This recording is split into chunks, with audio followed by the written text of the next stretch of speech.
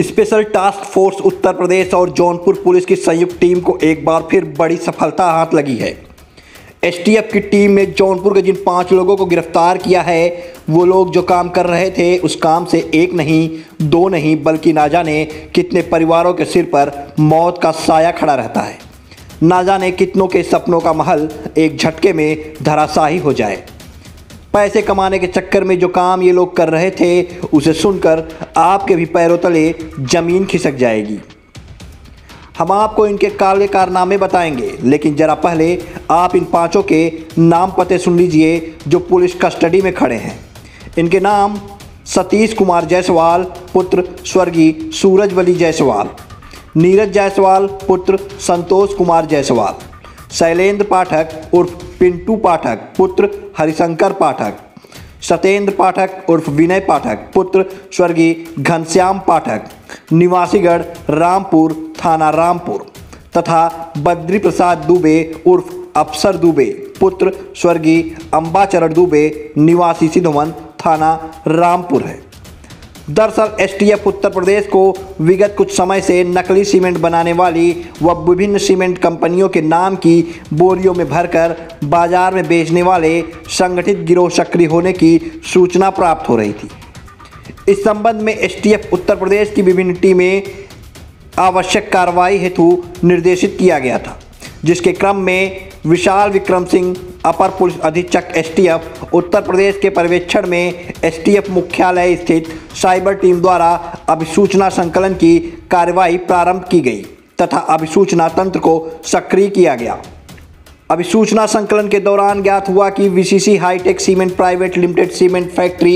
industrial area Siddhwan Rampur Jaunpur में मानक के विपरीत सीमेंट बनाकर विभिन्न ब्रांडेड कंपनियों के नाम की बोरियाँ, Piyush, Polytex factory industrial area Siddhwan Rampur Jaunpur में छपवाकर, उनमें सीमेंट भरकर उत्तर प्रदेश के विभिन्न जनपदों में कालाबाजारी कर रही है। 30 जून को सभी अभियुक्तों को एसटीएफ व जौनपुर पुलिस की संयुक्त टीम के द्वारा गिरफ़्तार कर विभिन्न सीमेंट कंपनियों के नाम की बोरियाँ 22 ब्रांड के नाम से लगभग एक लाख बीस हज़ार बोरियाँ व सात सौ अट्ठावन बोरी नकली सीमेंट बरामद किया गया। पूछताछ पर गिरफ़्तार अभियुक्त सतीश जायसवाल व नीरज कुमार जायसवाल, जो VCC hitech cement private limited के डायरेक्टर हैं, दोनों ने बताया कि हम लोग 2010 से 2022 तक ईट भट्टे का व्यवसाय कर रहे थे। अप्रैल 2022 में हम लोग अपना ईट भट्टा व लगभग दो करोड़ रुपए विनीत कुमार जायसवाल को देकर VCC hitech cement private limited को टेक ओवर कर लिया। हम लोगों द्वारा शुरू में वीसीसी नाम से सीमेंट बनवाई जाती थी। पर मार्केट में सेल बहुत कम होने के कारण हमें नुकसान हो रहा था, जिस कारण हम लोग मानक व गुणवत्ता में कमी कराकर सीमेंट बनवाने लगे, जिसको हम लोग विभिन्न ब्रांडेड कंपनियों के नाम की बोरियों, फर्जी व कूटरचित तरह से बोरियों में प्रिंट बद्री प्रसाद दुबे के प्रिंटिंग प्रेस, पीयूष पॉलिटेक्स में कराकर JP, BCC, Maihar Maihar gold, Birla, AI K S perfect plus ultra super, Birla champion, ultra premium K S A C C आदि ब्रांड की बोरियों में भरकर 250 से 270 रुपए में ट्रकों के माध्यम से बाजारों में सप्लाई कर अवैध धन अर्जित कर रहे थे। तीस जून की रात में एसटीएफ और थाना रामपुर, थाना सुरेरी और थाना मड़िया की संयुक्त टीम के द्वारा थाना रामपुर अंतर्गत सिद्धवन पुलिस चौकी में VCC hitech cement private limited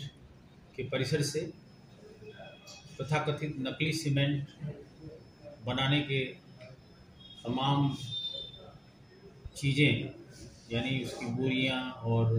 cement और अन्य चीज़ें, ये रिकवर हुई है। और मौके से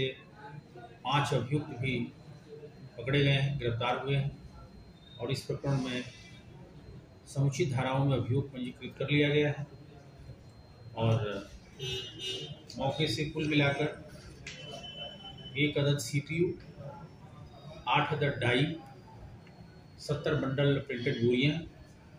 इकतीस बंडल सादी बोरी, सात सौ अट्ठावन बोरी नकली सीमेंट और सात अदद मोबाइल फ़ोन ये मौके से रिकवर किए गए और पाँच अभियुक्त भी गिरफ़्तार कर लिए गए हैं। समुचित धाराओं में पंजीकृत हुआ है